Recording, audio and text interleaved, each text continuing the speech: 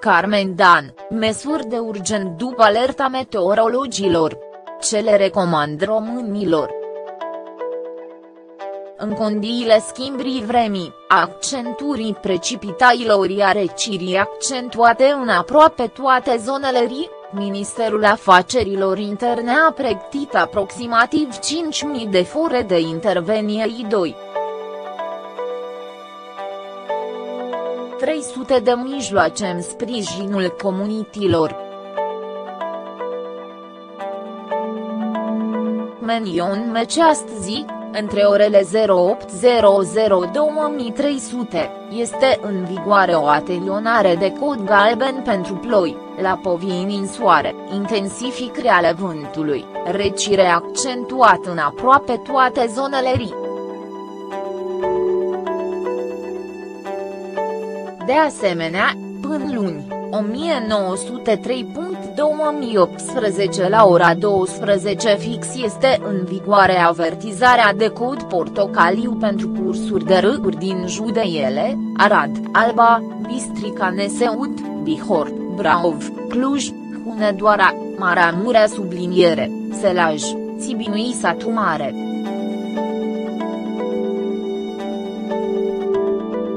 La nivelul Centrului Național de Conducere Integrată al Ministerului Afacerilor Interne se monitorizează permanent situația din teren pentru a se putea decide în cel mai scurt timp alocarea de resurse și mijloace tehnice suplimentare în zonele unde se înregistrează situații de urgență. Potrivit centralizării realizate în această dimineață, în urma ploilor de săptămâna trecut se mai înregistrează încă efecte în 53 de localități din 20 judei ale rii. O situație distinctă a apărut în judecul Dâmbovica, unde s-a reactivat alunecarea de teren din satul Velenid Dâmbovia, în punctul Lunca, pe o leime de circa 300 m.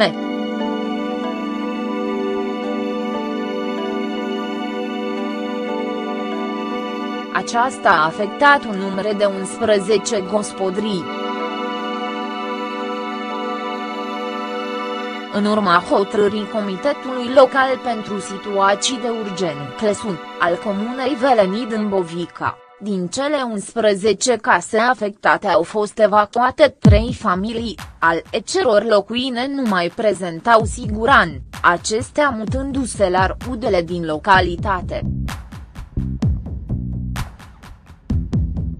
Alunecarea de teren este monitorizat de cetre clesuveleni din Bovia, urmând ca mâine în zona afectată să sosească specialitii care se decid măsurile potrivite de atenuare a efectelor de alunecare.